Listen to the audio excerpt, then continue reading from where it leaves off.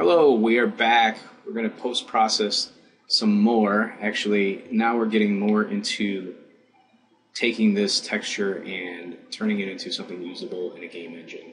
So I'm going to go ahead and just hit Z on my keyboard, which is going to bring up my zoom tool.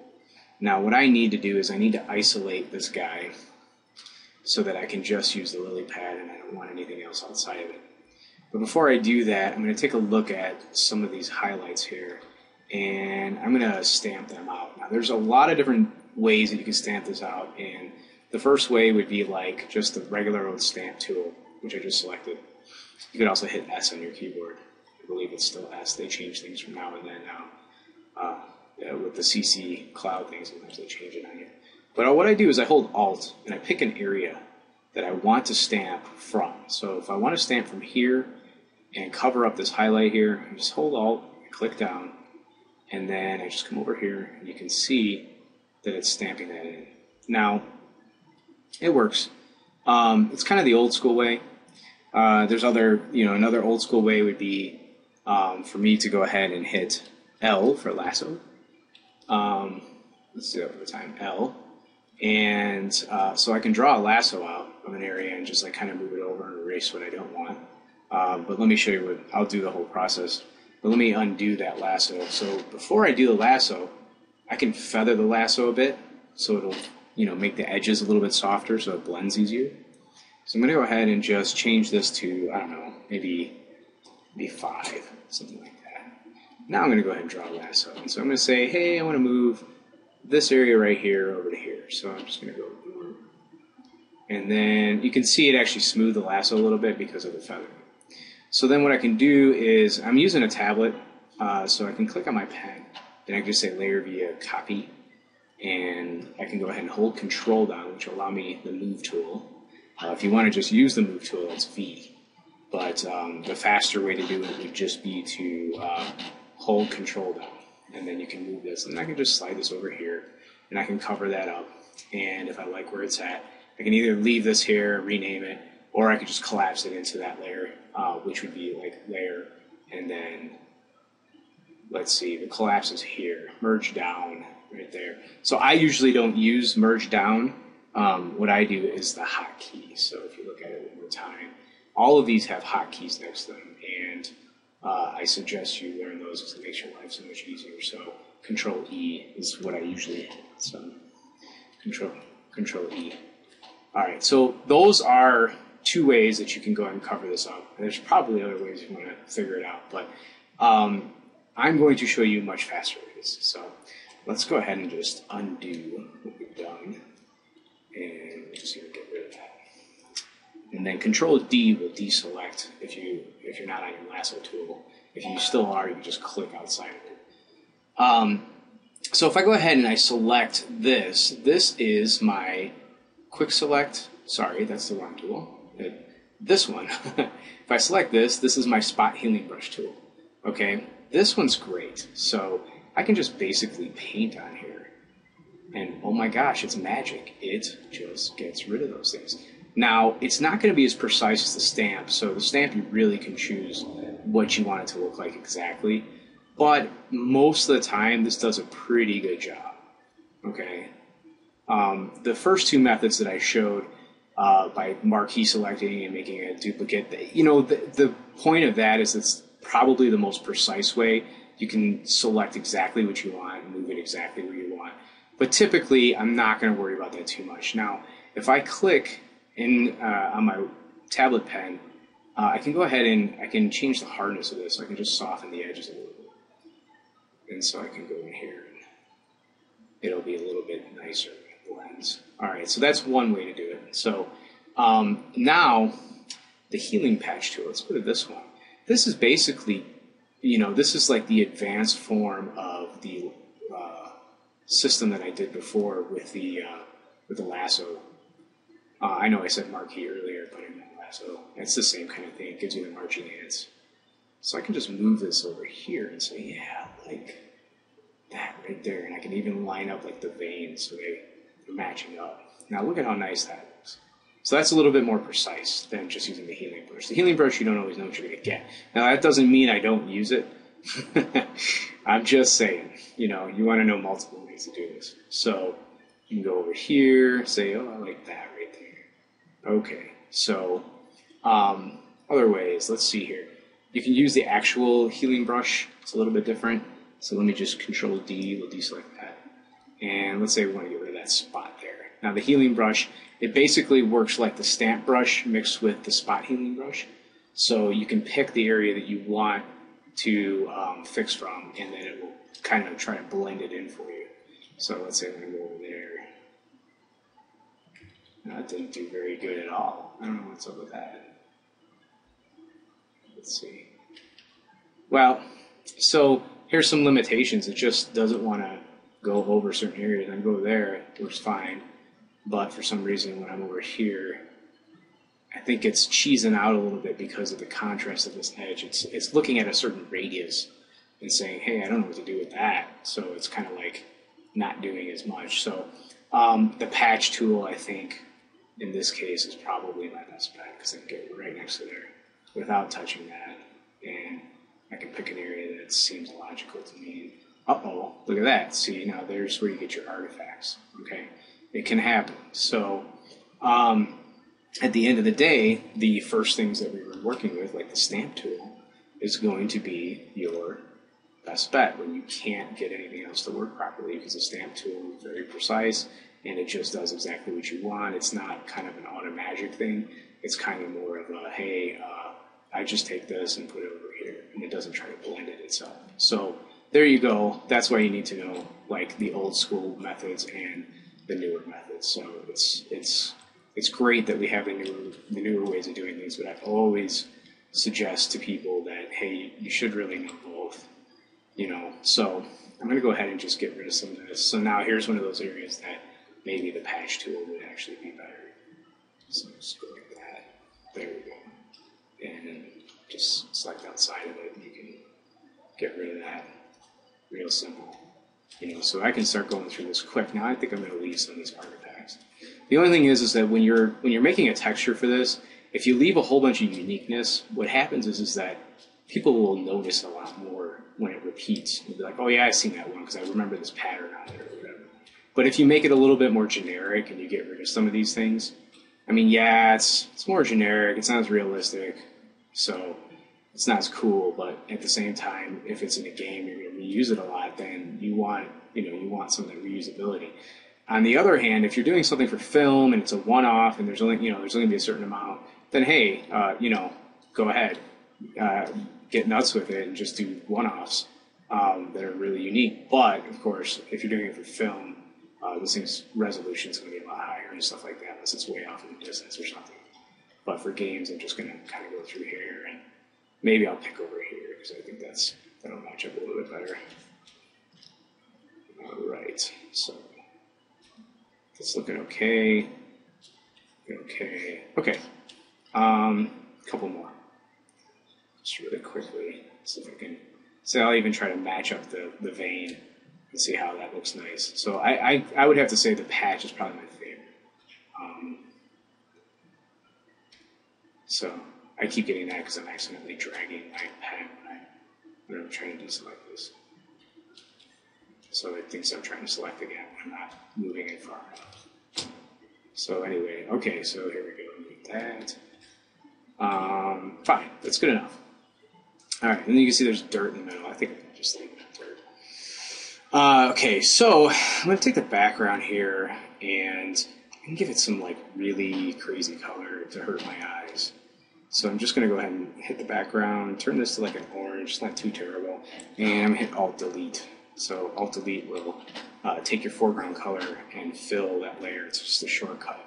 Uh, I do suggest you do those shortcuts. It makes your life so much easier. The other way is to go to Fill, Foreground Color, OK. I mean, it's so slow. Just Alt Delete down. If you hit um, Control Delete, it does the other colors, the background color. So you can see it just went white. I hit Control Delete, Alt Delete back to orange. Uh, definitely gonna make your life better. okay, so let's go ahead and talk about how we're gonna destroy uh, this outer area so that we can have that uh, as a transparency area, and then we have the opaqueness here. Uh, so there's a few. There's actually a lot of options. I mean, the most basic option is the eraser. Like the first thing you think of if you're come from the traditional art world, like I do. You go, I'm going to erase this and get rid of it, and you're like, there, it's done. Okay, yeah, that works, but not the best way. Um, you want to work non-destructively. So non-destructively means that uh, if I use what's called a mask right here, and then I select the brush right here, I can go ahead and paint black. So I just switch to black, or you can hit X on your keyboard. It switches back and forth to the foreground and background. But I can paint black in here, and it just gets rid of it, and then I have this mask. And what I can do with the mask is if I hit X on my keyboard again, I can go ahead and paint back whatever I want. So it never really goes away. It, you just don't see it. So that's the idea of the mask. Okay, you have masked it. All right, perfect. So that that is one great way to do it. Um, how can you get to this mask being faster? Well, they do make stuff like um, magnetic lasso, and I can start clicking this, and you can see here it's trying to follow these pixels. It's magic. No, it's not magic. It's just probably looking at the contrast and difference in colors. And since in this case, this um, this outside area is very different than the green on the inside, we it's it's doing a pretty darn good job. Now, if we did not have it as differentiated by the hues, then we would probably not be able to use this. Okay, so I'm going to click back over here, and that's not a bad job. So I'm going to hit Alt Delete. And what I did with Alt Delete is I just used that foreground color to fill in the mask. Sorry about that. Just finished rendering another video. Um, so, uh, there's other ways. Let's see what else we got. So we hit Control Delete, get rid of the marching ants.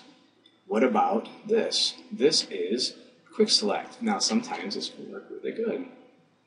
And you can see here, you come into here and it's doing a pretty good job at selecting around these edges. I'm going to say not bad.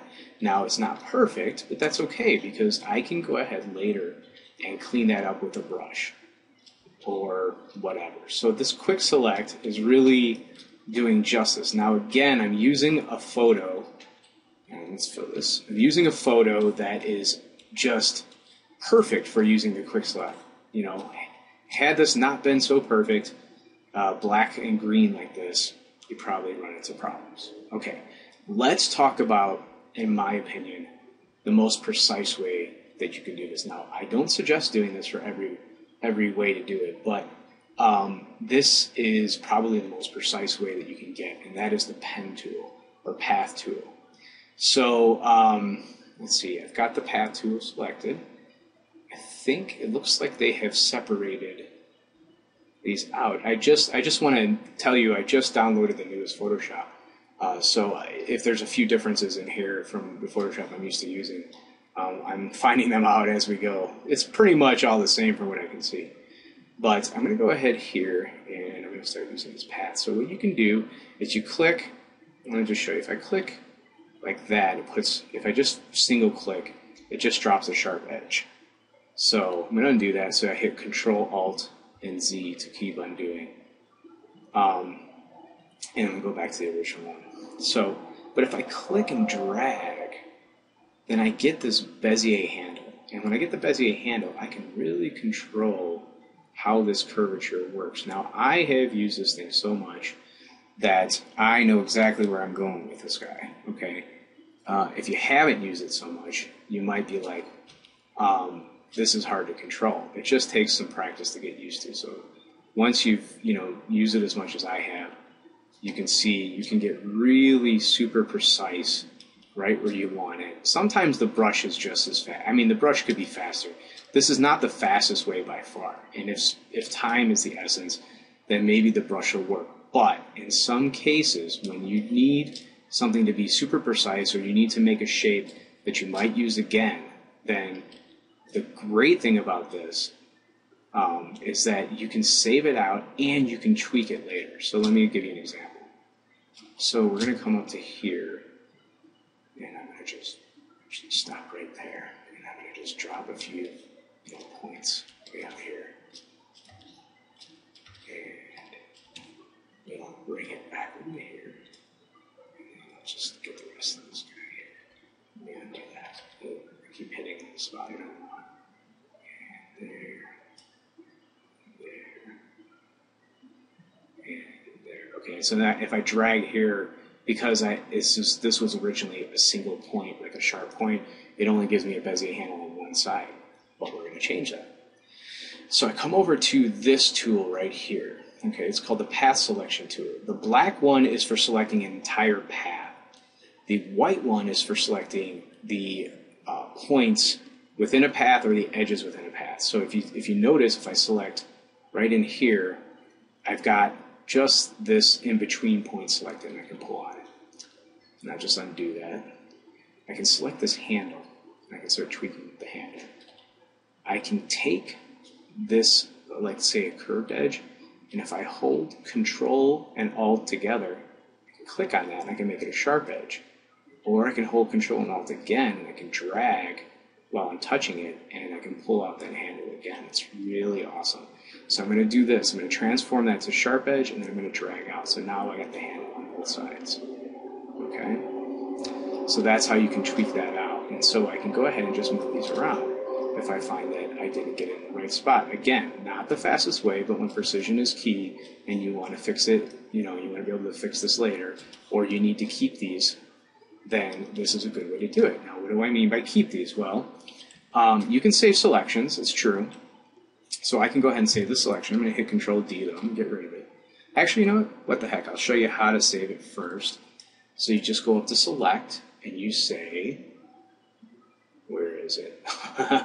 Save selection right there at the bottom. I, I don't use it that often, but I do use it once in a while. So you can save the selection, you can give it a name, you know, and it will be saved. And I'll show you how to access this. So just call it BBB. Now say OK. And so now if I come over here, here's that selection, BBB. Let me hit Control D. So when you actually, so I can be out here on my layers on this guy, I click on this layer, and then you see my what I'm working on. I go to channels and I can go to BBB. All right, now I haven't selected it yet. If I hold control, click on that, look what happens. You just hold control, click on that, and it selects it. So that will work for any of any kind of mask, okay? So since this we have a mask going on here, I'm gonna go ahead and hold control and click on that. Now what's happening? It selected the white areas of the mask. Okay, only the white areas, the black areas it, it does not select. Okay, so I'm gonna hit control D to deselect. Now I'm going to go to the paths. Okay. Now look, this is it's interesting. I have what they call a work path in here, and that's what I've been working on. And I can take this path and I can double click it, and then I can give it a name. I'm just going to let it stay at path one for now, just because I want to rename it during a demo. And now this path will be saved into my file, just like the selection will be saved into the channels in my file. But again, the difference between the path and the selections is that the path can be tweaked again. So if it wasn't right, I can tweak it. Um, now, if I hold control and click on the path, what does it do? Just like the selection, it goes ahead and selects that if you hold control. So I'm going to go ahead and hit deselect, hit it again, I got it, okay. Now what else can you do with a path? Well, if I select this and I hit B on my keyboard, now I've got a brush selected, and then I can hit X to switch to my white color. I can go ahead on whatever layer I'm on. Let's go ahead and just make a new layer and go back to my paths. And I can go ahead and stroke the path. Okay, actually, now that I'm off of my uh, alpha channels, I have I don't have white, uh, black and white So I just basically stroke the path with this brush. So if I wanted to switch the brush, of course, I can grab something like this goofy tree brush, which sometimes is fun. And I can go like that. And it's a, you know, I just filled up that whole area. So let's undo those. Um, so pretty cool. I mean, you can make a mask from it. Um, I think this is the fillet, so you can fill it in. Okay, so we look here and then we can see on our layer just automatically fills that area. So we don't have to like select it and then fill it. We should just hit that button. So the path is a pretty powerful tool. If you want to throw out the path, let's go back to that. You just junk it by hitting that, or you can, I think you just hit that. Ask if you want to delete it. And then if you want to duplicate it, you can duplicate it. Okay? So um, you can duplicate it, and then you can free transform this. So Control T, and then switch tree brings up a free transform, and then I can just rotate it. I'm holding uh, Shift to make it snap to I think it's 15 degree increments. So you can do stuff like that. Um, you can scale it this way. So it's really cool, really really flexible. Uh, just a great tool for being really precise, and I do use them often. I will say. Um, so that's that's the different ways you can mask this. So let's go ahead and I'm going to go back to my brush because in this case, I think that the fastest way to get this done will be just to pick my good old brush and to um, make the size of my brush the right size. So let's go ahead and see. I forgot what the, the shortcut was. There it is. So you hold Alt and Control and you can go ahead and drag left and right to change the size of your brush. And then if you hold Alt and Control and drag up and down, it'll stay, it'll change the um, the softness. See that? So I'm dragging up actually to go softer and down a little harder. Okay, so left and right brings it like that. Now if I hit Control plus, I can zoom in. Now that's a great shortcut to know because anytime you're working, like let's say I have a selection or I have my you know, I'm in my path tool and I want to zoom in without switching my tool to the zoom thing, I can just hit control plus and it'll zoom in on whatever I'm working on. Now to get back to my mask, I have to make sure I click on this mask and you see there's a little border around it. Okay, if, I, if I'm over here, I'm going to be painting on my, um, on my, you know, image. But if I click here, automatically it turns to white and black because it knows that, you know, you want to paint on your mask. And then I can come in here and I can start going ahead and eliminating these edges. And so I'm I, the reason why I use the orange uh, behind it was because I want to be able to see where I'm cutting this thing out. I want to be able to see it really, really well. So now I have a problem here with my brush, and I'll show you why I feel like I have a problem because this is brand new Photoshop. I don't have anything uh, adjusted yet. I need to go to my brushes I need to go to my brush preset. Actually, no, I was in the right area, sorry. This one. And I, my spacing, I want my spacing to be less because I feel like I'm getting a little bit of, like it's not smooth enough. So now it's smoothing out better. So as I go like that, I'm not getting like little jaggedy parts because it's leaving spaces between my brush. So now all I have to do is kind of go around like this. Um, you can also, of course, use a regular lasso. I think I, I went over the magnetic lasso, but I didn't mention that, you know, I could just grab a, re- a regular lasso and, and, start doing this. Um, I would say right now it actually almost looks like my path might have been faster. And I think that's, honestly, that's just because I'm so used to using the path. I use this for so many times, for any different things. Um, oops. I'm, uh, trying to increase my brush size, which is the um, the brackets. So um, left bracket is to make it smaller, and right brackets to make it bigger. Like that, and we can fix some of these areas. And so, of course, some of them, if I want to get really precise, I need to cut in here like this. that. And you know what? I mean, it's it's not going to kill this if I if I go in a little bit. So, um, one other method that I have not mentioned that uh, could really do this really easily and fast in this situation where we have um, something that is very pronounced against a like a plain background um, is uh, I could have done like an automatic selection or a color selection and so I'm going to show that in a second after I just paint you know paint a little bit more of this out. So now in this area here where I get these white areas, now I can go and fix those, or I can decide, you know what, I'm just gonna, I'm just gonna paint those out a little bit. I'm just gonna go like this, start painting those out. Just get rid of them. No one's gonna know. You know, I mean, you know, realistically, there's usually always like a curve on the edge, edges of leaves. So, um, and this is obviously no exception. You can you can tell the way that the highlights are right at the edges like that, it, it's facing a different direction.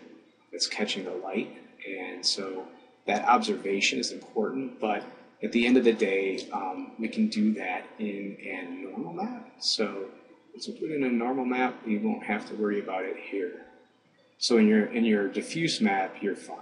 You don't really you don't need to show that curvature so much in your diffuse. Sometimes if you like back in the old school, um, you know, the Wii days and before, you know, GameCube, whatever, uh, what we used to do is we would paint some of the light in, uh, you know, because we didn't have that that uh, that lighting model that we have nowadays. Nowadays, you don't have to worry about it. So um, back in the day, you, you could say, hey, we'll just paint a little light in on the edge of this, and it'll make it look like it's getting lighting information.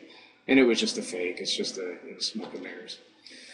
So, um, okay, so let's just pretend this is all done because I don't think you want to be bored watching me do all this. And I'm going to go ahead and just control minus, which zooms me out, or control zero, which zooms to the extents. I'm going to take a look at this. I'm going to say, wait a second, you know what? I just thought of a new way. Let's duplicate this layer and see how this works. Let's just delete the layer mask. Delete layer mask. Okay. Now, what if I go up to here in my select and I go color range and I say, let me select everything black. So what this is going to do, it's giving me an idea that it's going to select anything that's in that black range and I can change the fuzziness, which basically what that does is it will um, basically increase how much you know off of the main color that I selected it will get. Now I can also add colors to this. I can hold shift, I can grab that, so I can just pinch on that guy, and I can go ahead and undo that. So I've got some problems there. I'm gonna re I'm gonna say no to that. Um, and let's see what else. That's probably pretty good. Let me just add this little bluish in there because I think there's a little more blue up there. I'm gonna hit OK. And now I just selected, you know, almost everything. So it worked pretty good. Now it's not always gonna work this good. You know, like I said, this is a perfect example where the, the water, I don't know what was on the bottom of this pool, but it was really dark. So it worked out really easy. And so from here, if I go ahead um, I don't want this selected part to be what I want. I actually want the inside part. So, you know, the, the other way you can go about this, you can go about this by going color range and then actually selecting this inner part and holding shift and getting all these different green values, you know. So that might actually be a smarter approach to this.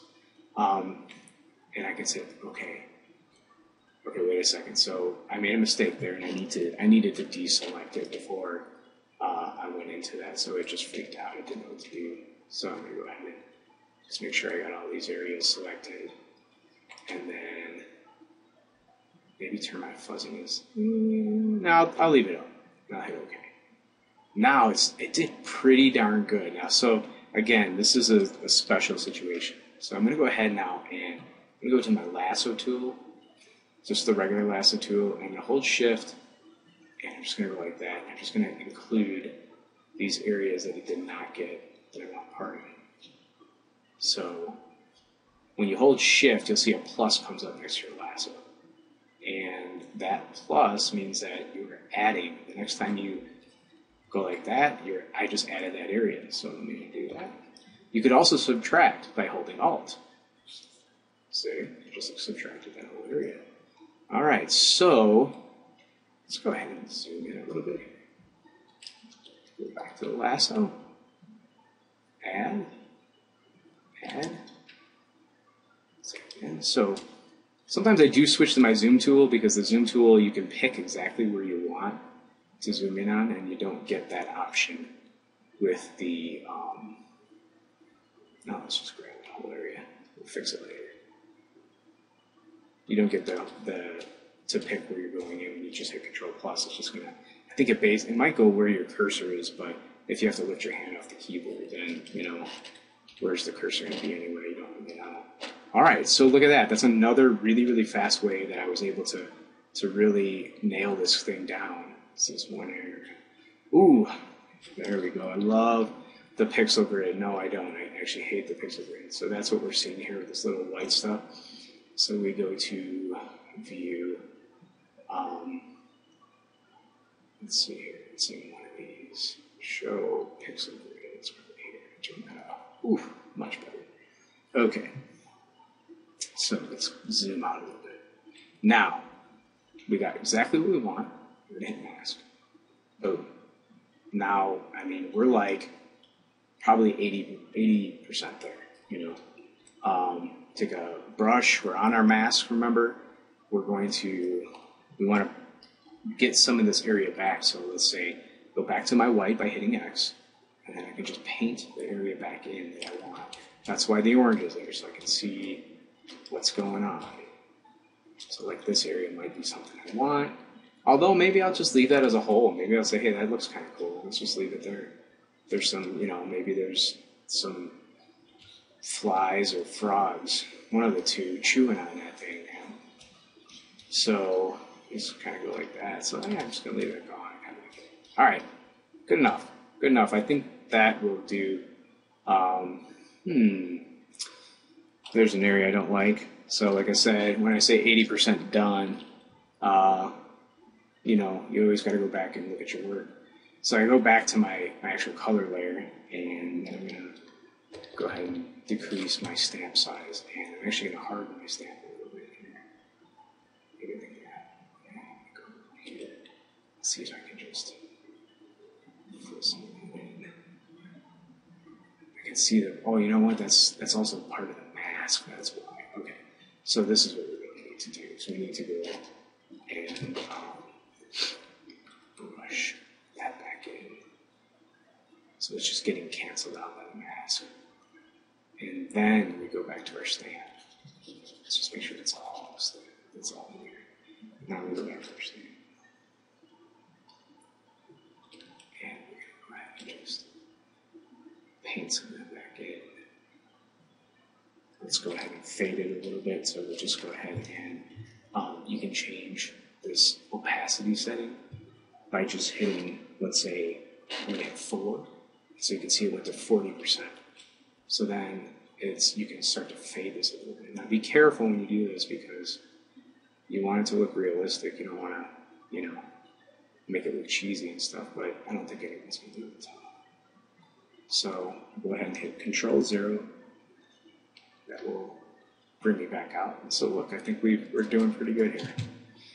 Okay, so this is video's at 30 minutes, so I'm definitely going to stop it here. That's a lot of information to take in in 30 minutes, and uh, go over some other stuff later. I'll probably clean up the rest of it while in between the video. Thanks for watching. I said it was done, but it's not done because I forgot to show one major thing, and uh, I want to show you that. So First of all, let me make a confession. When I was lassoing, I forgot I had my feathered pixels still in there at five, so there were some parts that got lassoed uh, and and kind of like got faded a little bit in the mask. So what I did is I kind of just did a big circle like this with no feather, and then I went into here and I just pasted the white in there, alt delete, and um, then we uh, took care of most of those issues, and the rest of them I just brushed in if there's some you know faded parts. Okay, so let's get down to two more tools that I wanted to talk about. Uh, one of these tools is going to be brought up by double clicking on your mask. And you see that there's a properties and there's a feather.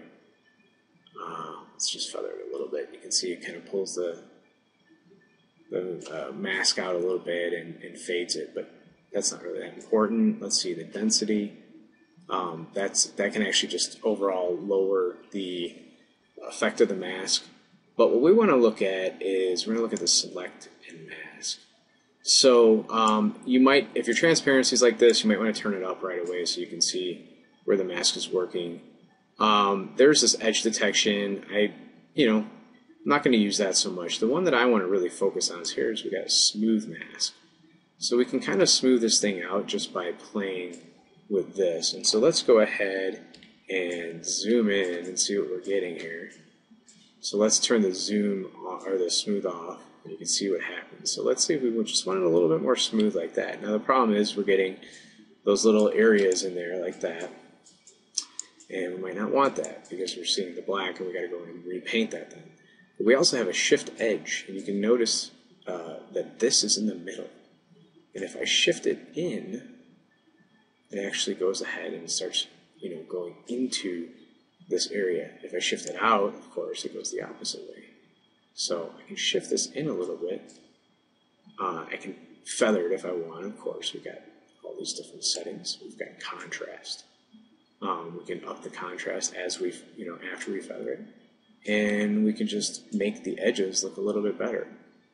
Okay, so that's an important tool. One other tool I didn't mention, I'm to hit OK first of all. So we just accepted that change. One other tool I did not mention was the wand tool. So underneath the quick select tool, there's the magic wand tool. And before there was quick select, there was magic wand.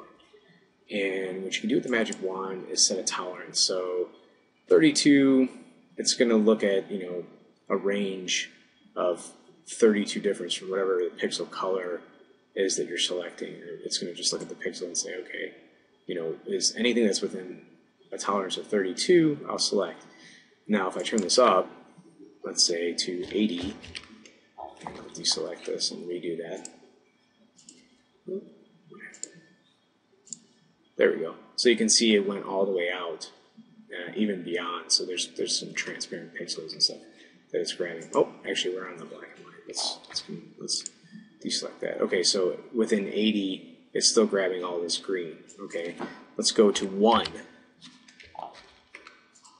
Oh, it's only selecting one little pixel. Now, here's why it's not going further. Um, when we have the wand selected, which is the, the hotkey is W, we also have an option for contiguous. So because this contiguous is on, it's only grabbing pixels that are within one um, tolerance of this. So it's got to it's got to be like really close, right? It's got to be almost just exactly like this pixel. So if I turn that off though and I hit this, look at what happens. It grabs any pixel all over the whole thing. So in other words, they don't have to be connected. They don't have to be contiguous. So um, so that's another way to go through and select. Now you can also turn this up. Let's let's go with like 50. I select this, I got almost everything. Um, but I didn't get everything. So I could go into here and I can go um, wand and I can hold shift and you can go ahead and select those areas that you missed by holding shift and it'll just add those to and you could also uh, at that rate you can go ahead and have your wand tool and hit alt and I hope you're seeing patterns here of how Photoshop works. It's got a lot of the same functionality. So now it's deselected a whole bunch of items just based on the fact that I hit Alt on one of the main colors, and so it got rid of almost the whole selection. So that's another important tool. So those those are the two things I wanted to go over before we ended this topic of masking, and I'm sure there's other tools in there uh, that I, I'm not covering um, because you know everybody's got their tools that they use, and Photoshop really has many, many ways to do the same thing. So uh, I hope I covered enough of them to get you well rounded. All right, thanks for watching.